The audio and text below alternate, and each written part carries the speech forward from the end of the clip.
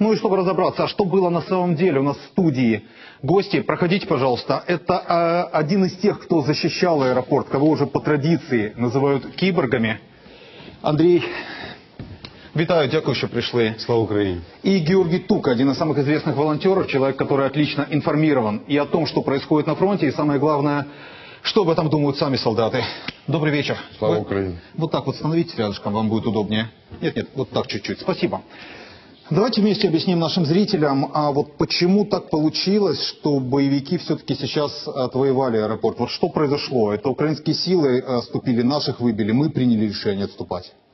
Насправді військову операцію, якщо ми збиралися тримати її е, в самі термінали довго, е, треба було починати набагато раніше, але постійно боялися послати туди більше сил і постійно говорили про те, що ми не стріляємо, ми не атакуємо, ми не заходимо, щоб, не дай Боже, не подумали спостерігачі, що ми проводимо активну фазу.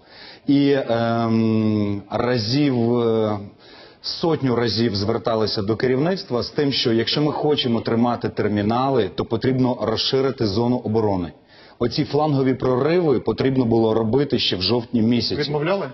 Відмовляли і не запускали туди. Ротація відбувалася рівна кількість на рівну кількість. Всі говорили, що треба послати туди ще принаймні сотню, півтори сотні. Нічого подібного. 23 сотих забрали, 20 е, свіжих привезли. Все.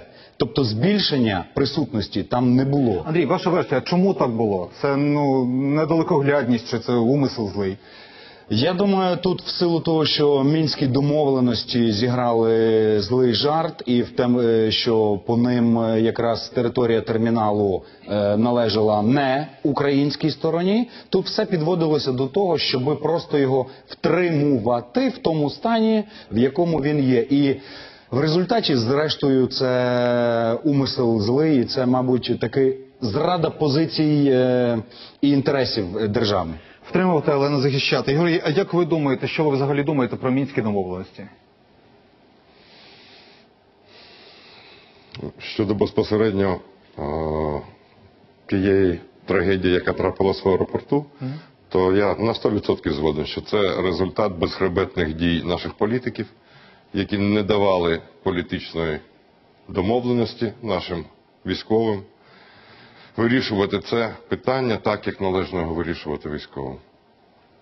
Щодо безпосередньо мінських домовленостей, з перших днів підписання в мене дуже багато запитань. З ким ми підписували? Хто від нас підписував? Хто уповноважував цих персон підписувати? Що взагалі ми підписали? І хто, врешті-решт, їх дотримується?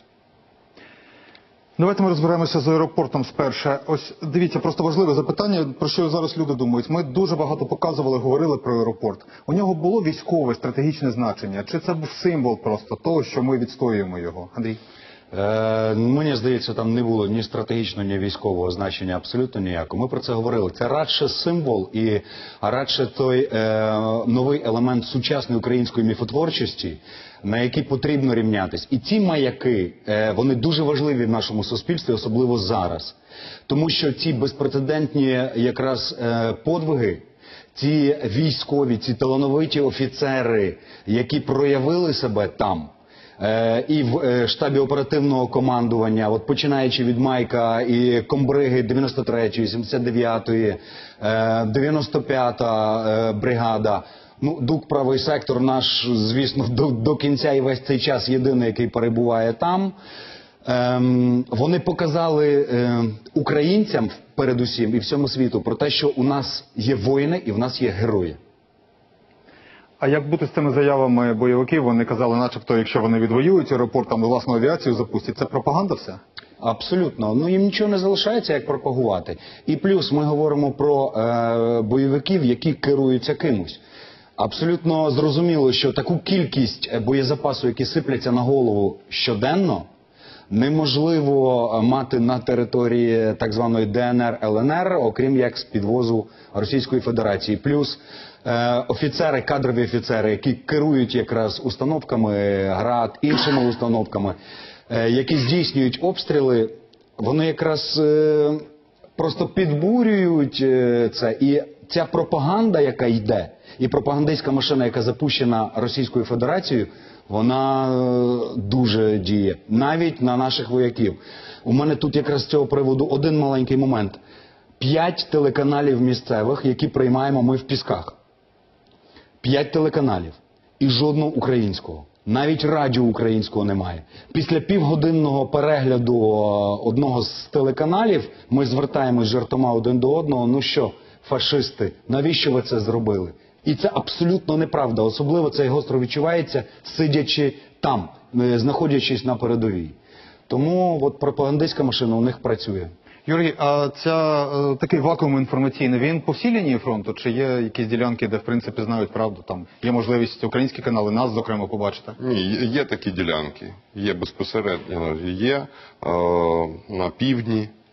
Але в той же час е, до мене заїхали там три дні тому наші хлопці альфачі, і певний час вони перебували в Волновасі в лікарні.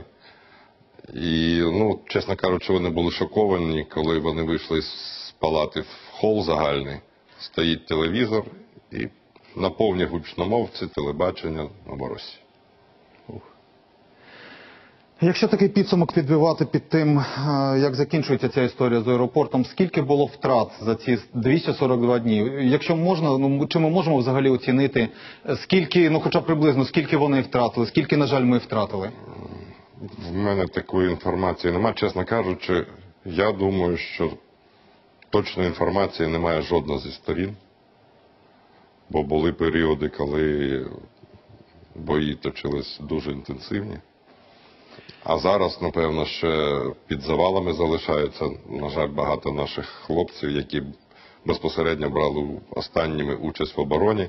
Це і 80-й батальйон, і 90-й батальйон 81-ї бригади. Ну, я думаю, точних цифр ніхто не знає. Давайте ми розберемося, що далі робити. Відвоювати, ось на вашу думку, на вашу думку, відвоювати аеропорт назад, чи просто закріпитися на тих позиціях, де зараз е, українські війська стоять? Я думаю, тут треба дивитися ширше по введенню військового стану, по позиціям, взагалі проукраїнським позиціям, і що ми хочемо в результаті заявити світу і своєму народу, зокрема. А тут уже вольове політичне рішення. Що ми будемо робити? Чи ми вже змовилися і віддаємо території і робимо зону замороженого конфлікту по прикладу е, Абхазії, Придністров'я і інших уже відомих прикладів, які створила Російська Федерація? Чи ми таки стаємо на рейки е, вітчизняної війни, націон- проводимо національно визвольну боротьбу, відвоюємо свої межі, включно з Кримом? І тоді всім буде чітко зрозуміла наша позиція, що ми робимо. І тоді можна говорити про активну фазу мобілізації. Люди знову потягнуться, як е, в час зелених чоловічків у Криму, у воєнкомати. І от тоді можна говорити якраз про становлення і економіки, тому що завжди е, війна вона спонукає підйому економіку, коли йдуть державні замовлення, коли починається робота. І згідно військового стану, тоді можна дуже жорстко ставити питання стосовно корупції, корупціонерів і люстрації.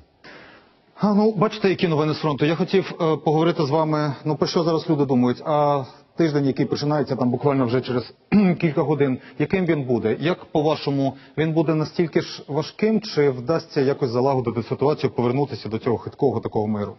Ми не можемо постійно повертатися до хиткого миру, тому що знову ж таки треба перш за все розставити акценти. Навіть якщо називати це антитерористичною операцією, то потрібно дати 48 годин для того, аби вивести всіх непричетних до цієї мирних жителів, забезпечити їх відхід. Всі інші будуть вважатись терористами, які не склали зброю, і йти і проводити наступальну операцію. Все. Не може бути мир. Про що ми домовляємось? Про... Ми торгуємось про свою ж землю. Ви чуєте, про що говорять люди? Е, Куди ви нас залишили? Ми ж українці. Чому нічого не працює? Давайте подбаємо про це. Давайте згадаємо е, більше ніж півроку, вже, е, як все почалося, як невеличка кубка.